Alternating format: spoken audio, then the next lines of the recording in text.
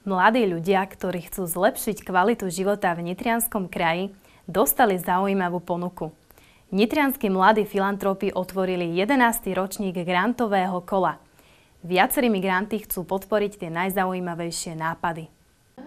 Popri 8 komunitných nadáciách pôsobia na Slovensku už 10 rokov mladí filantropy. Ich cieľom je viesť dobrovoľníkov vo veku od 15 do 30 rokov k zvyšovaniu kvality života komunity, v ktorej žijú.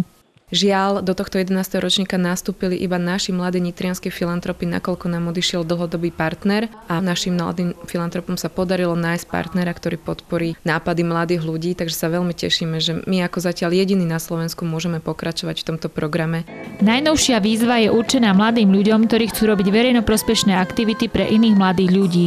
Niečo z oblasti športu, kultúry, sociálnej práce, vzdelávania, zdravia. To je jedno, aby hlavne to bolo zaujímavé, nápadité, originálne a aby tým niekomu pomohli. Program Mladí filantropy sa začal v školskom roku 2003-2004 práve v Nitre, kde si našili mnohých podporovateľov. Máme veľa takých aj stálych organizácií, ale zároveň aj neformálne skupiny mladých ľudí, ktorí sa snažia tu niečo urobiť. A práve v tom im pomohli granty, ktoré vždy udeluje Mládežnická komisia. Chlapci z Pároviec, ktorí sa snažili urobiť si také hiphoperské štúdio alebo organizácia Delf Club z Levíc, ktorá sa snaží organizovať e, kultúrne a športové akcie v Leviciach. Skúsenosti s realizovaním menej náročných projektov môžu mladí ľudia neskôr využiť. Napríklad pri práci s eurofondami, bez ktorých si dnes rozvoj mnohých oblastí nedokážeme predstaviť. Pomáhajú e, jednak skvalitniť život ľudí, skvalitniť životné prostredie, podporiť ochranu kultúrnych pamiatok, e, podporiť znevýhodnené skupiny obyvateľstva, podporiť tvorbu pracovných miest a množstvo, množstvo ďalších aktivít, o ktoré sa môžu, môžu žiadatelia uchádzať.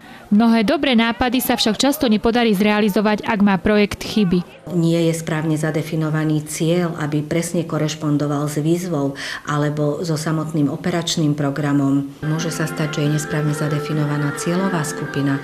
To sú možno niekedy maličkosti, ktoré si tí potenciálni primatelia neuvedomujú. A je zase na škodu veci, že možno dobrý zámer alebo možno dobrá vízia stroskotá na takýchto maličkostiach. Pri náročnejších projektoch úspešní žiadatelia často spolupracujú s odborníkmi. V programovacom období 2014-2020 je pre nich pripravených viac finančných prostriedkov ako v uplynulých rokoch. Jolana Čuláková a Zuzana Sýkorová, Západoslovenská televízia.